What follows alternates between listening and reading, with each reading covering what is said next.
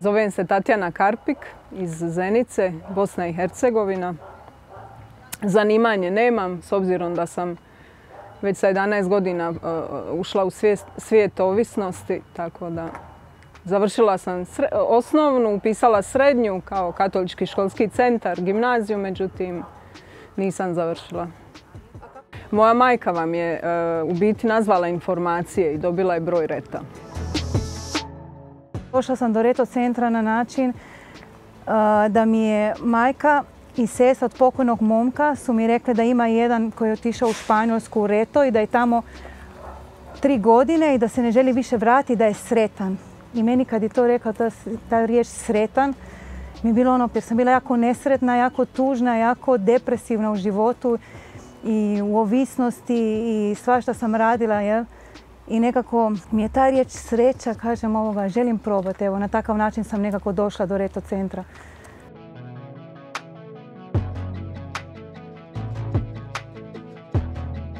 Pa Reto centar je nastao u Španjolskoj, misionar iz Amerike je došao u Španjolsku i vidi ogromni problem heroinskih ovisnika tamo 80. godina i započeo je to na jedan običan način, primio je dva ovisnika u kući i dogodila se takva ekspanzija po Europi da je Reto prisutan sad u 56 zemalja svijeta. U Hrvatskoj je Reto započeo u 1993. Imamo dvije kuće, jedna ovdje u Zagrebu i u Splitu. Imamo osam objekata gdje su smještene djevojke, cure i bračni parovi. Trenutno je 160 korisnika, u Splitu 80 i ovdje kod nas. Uloga Reto centra danas u mome životu je moja obitelj, prijatelji i kao u svakoj obitelji učin raditi, učin se živiti, graditi odnose. S obzirom da sam bila osoba koja nije vjerovala u druge prilike, u svijetu iz kojeg ja dolazim ne daju se druge prilike tako lako.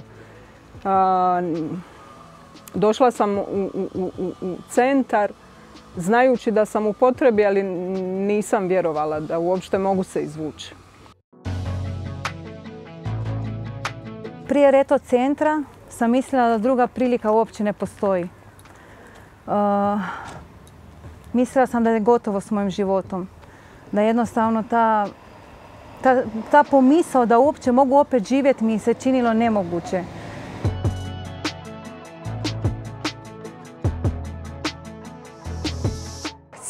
Redu centra je moralna, materijalna, duhovna, radna obnova osoba s poremećajem ponašanja, s naglaskom na ovisnost i osnaživanje ostalih ranjivih skupina. Naša misija je razvoj jednog sveobuhvatnog tretmana koji će obuhvatiti sve znači, e, elemente jednog života u konačnici sa naglaskom opet na osobe s poremećajem ponašanja i ovisnosti. A za mene je druga prilika imati, imati podršku, imati pomoć. Imati pomoć i početi graditi onu ruševinu koju sam napravila u svome životu tokom drogiranja.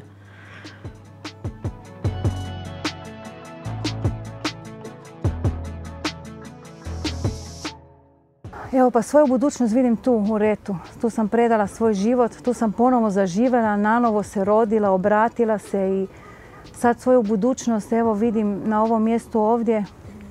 Nekako da, da mogu i biti ta ispružena ruka koja jednog dana je bila tu meni ispružena sa nebesa, sa visina preko ljudi koje sam mogla vidjeti ljubav i mogla sam vidjeti neku prihvaćenost da sam da ima jednog smisa, da ima jedna nada živa i to me nekako motivira.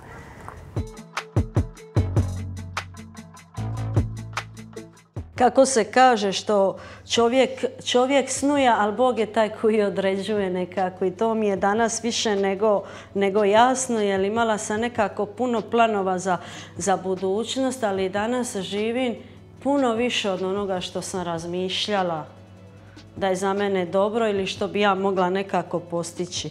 Pa najveći izazov je Reto centar je kao jedna velika obitelj gdje ljude učimo i odgajamo I najveći izazov je kao i u jednoj obitelji materijalno održivost materijalna i naći vrijeme za razgovor s ljudima jer mi se sami financiramo i jednostavno to nam je, pa ja rekao bi, jedini izazov da možemo opstati na tržištu i da možemo posvetiti se ljudima adekvatno.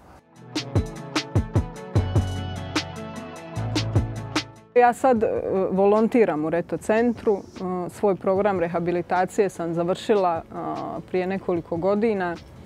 Ja na ovom mjestu nalazim inspiraciju svakodnevno kako koristiti onu milost koju je Bog stavio u moj život. Dajem sebe za druge i da stvaramo nešto u što vjerujemo da nedostaje u društvu u kojem živimo. Podršku koju, najviše koju sam primila je kroz ljude koje je Bog promijenio. Jer sam vidjela da oni imaju želju, da imaju motiv, da imaju e, radost, da se dignu ujutro i krenu i pomažu kroz cijeli dan ljudima koji su za njih, pa malte ne stranci. Ja sam došla tu i kroz prvih par dana ljudi su mi služili sa takvom željom i voljom. Ja sam to poželila. To je bila podrška za moj život u početku. Ja sada mogu tu istu vrstu podrške svakodnevno pružati ljudima kojima me e, okruži taj dan. Hvala Bogu na tom slastičarstvu koje mi je dalo priliku i mogućnost da uopće mogu kroz to nekako sam prepoznala da sam nekako sposobna i da mogu biti neke stvari napraviti. Meni je jako drago da sam mogao biti dio ovog projekta, iako nemam pojma o kolačima.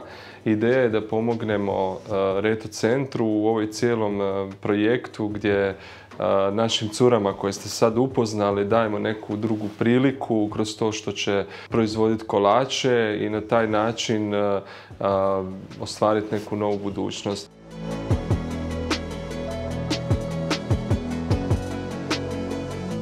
Projekt Slastičarne smo počeli sa Kristijanom.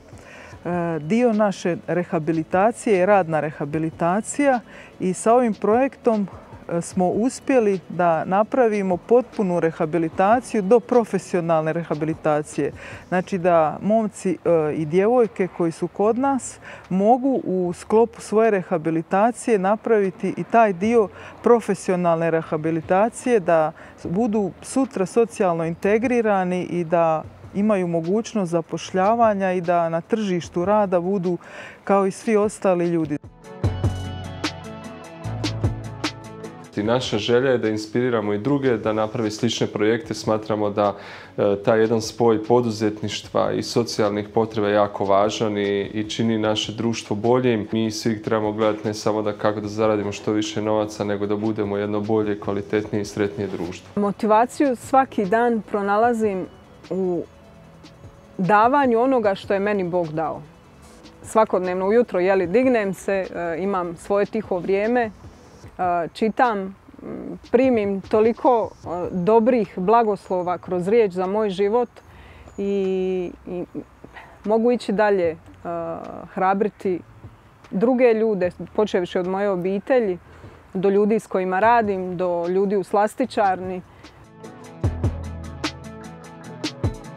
Dolčinoti je e, slastičarnica gdje će se prodavati kolači koji se proizvode u Reto centru pod e, nadzorom e, Ane Marić. Ideja je znači da to bude jedno mjesto gdje možete popiti super kavu, pojesti super kolač, malo se onako odmoriti od gradske vreve i gužve i još ono što mi pokušavamo tamo napraviti je i jedan duhovni program sa nekim temama koje su aktualne za ljude danas u društvu, a to je kako se boriti protiv depresije, alkoholizma, droge. Nikad nisam znala napraviti jedan kolač, ajmo reći, a kamoli, ali danas mi je to stvarno nekako, baš mi je dobro i volim raditi kolače. To mi je ono, čudno mi zvuči da to izgovaram, ali mi je baš dobro. Evo, stvarno nekako sam se našla u tome i zadovoljna sam s time što radim.